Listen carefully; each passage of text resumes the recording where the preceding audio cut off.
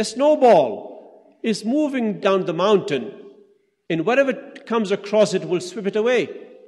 So the Taliban better, they must become a snowflake, and join the snowball, and have a better future in this country.